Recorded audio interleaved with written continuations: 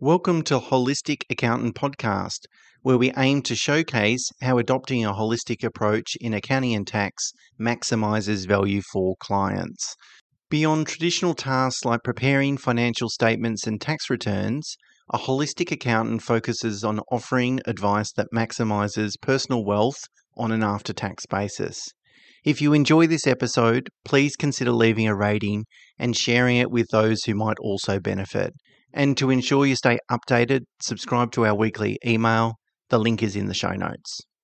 Okay, today Mena and I would like to talk about what investment costs are tax deductible. So, that is, if you're making investments, whether in personal name, in a trust, or in other entities, of course, that uh, expense needs to be attributed to that entity. But uh, we thought it was interesting to have a think about what costs are associated with earning assessable income with respect to those investments uh, that you can deduct. Because as long as you um, keep really good records, uh, obviously the, the aim is to try and deduct as, as many costs as possible.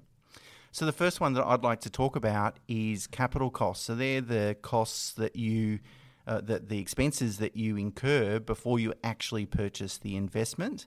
Uh, they're typically called capital costs and they're added to the cost base. So you don't get a deduction for them in the year that you spend those monies you uh, what, what you do is actually reduce your capital gain uh, when you eventually sell the asset.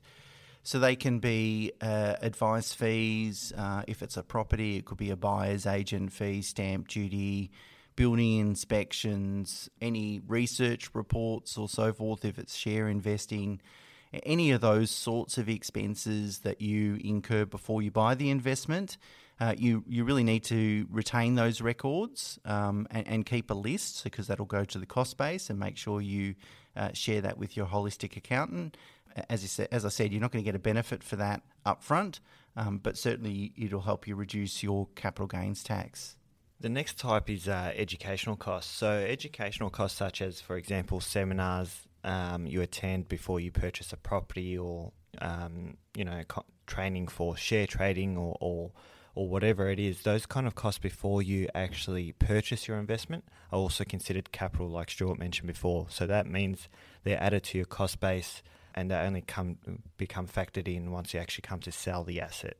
Um, specialist journals or subscriptions. So, uh, particularly for share investors, a lot of share investors subscribe to, you know, sort of share tipping newsletters and those sorts of things. They're tax deductible. If you've got sort of general newspapers and so forth, you might have to, we will have to apportion the cost because some of it's going to be personal and some of it's going to be related to investment. Although I guess if you've got a a newspaper like the Australian Financial Review, you could probably argue most of that cost is associated with making investment decisions. So if there's not a direct link, uh, you know, if if you don't, you wouldn't otherwise have that subscription or newspaper if you didn't have the investments, then you'll probably need to apportion. But if the only reason that you've got that subscription is the fact that you've got these investments, then typically there's a direct, what they call direct nexus uh, with the income and expense, and it's deductible.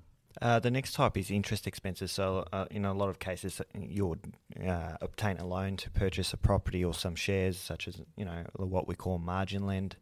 Um, interest expenses associated directly with your investment or your purchase, your, asset, are tax deductible. However, when it comes to property, um, it becomes a little bit tricky because if you start incurring interest expenses prior to actually leasing the property, generally those uh, interest expenses are considered capital in nature. Now, that's that's a bit dependent on what uh, type of entity you're in, but generally, if you're a, if you're just a personal investor, you've bought, for example, a house and land package um, the interest ex- expenses whilst you're you're building that that house is c- considered capital in nature. Internet access and computer expenses. When I say computer expenses, you know, de- depreciate your computer. Uh, so most of us would need a computer and internet access to manage our investments. Now, of course, we, we probably also use our internet and computer for other purposes, personal purposes. So you're not going to you're not going to be able to claim 100%. You're going to need to be able to apportion uh, your claim, and you're going to have to have some sort of basis uh, for doing so. So I would argue that if you've got you know very few investments, you, that proportion is going to be relatively low if you've got a lot of investments and you genuinely use those, the internet access and computer and any other peripherals uh, significantly, you know, a lot a lot of time is spent on them, um, then obviously that proportion is higher. The finally, the last expense that you might might commonly uh, incur are financial advice fees um, or, or, professional advice fees. So generally, um, those fees are tax deductible, and uh, um, I forget the tax determination number. Stuart, do you do you remember off the top of your head? Of course not.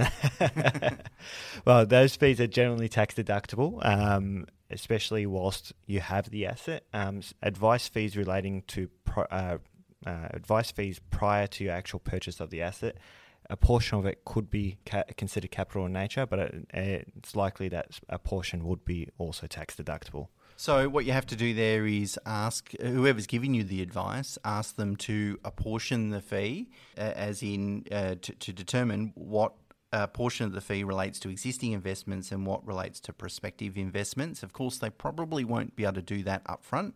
They'll only be able to do that once they've completed the work, but that's important. I think overall, just to sort of leave you with one bit of advice, which is record keeping. If you keep uh, really good records, that'll at least help your accountant trawl through your expenses and work out which ones they think are deductible outright, uh, which need to be apportioned, and, and which are, are non deductible items. But your accountant, your holistic accountant, doesn't know what he doesn't know. So if you don't keep those good records, uh, then that's obviously not a, a possibility. Okay, that's it for this week. Bye for now.